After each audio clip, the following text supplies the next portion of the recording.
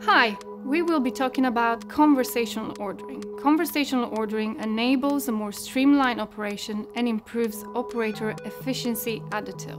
With a more traditional ordering, the operator is required to select a menu item when it's prompted and follow through each selection afterwards. For example, if you order a cappuccino, the operator is prompted to select the milk choice and the size of the coffee, and when this is done and finished, they can go and select another coffee. Conversational ordering, on the other hand, follows a more realistic process meaning the operator can add products to the check as soon as the customer orders, following through a normal conversation with the customer. For example, we're now going to put a transaction through the till. So I'm going to swipe through the till as an operator does.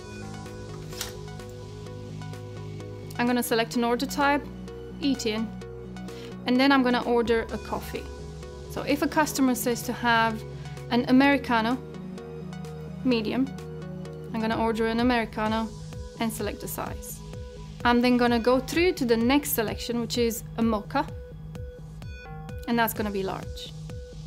However, if I want to add the milk type to Americano, I can just select Americano in the check detail, and then on the screen, I can just select the milk type.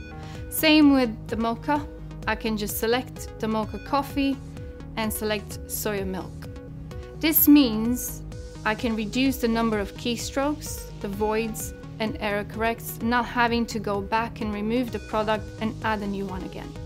Conversational ordering user interface is very easy to configure, and any operator, no matter the experience level, can easily pick this up. Conversational ordering is a core feature and can be easily configured through EMC, the central configuration tool of Simphony.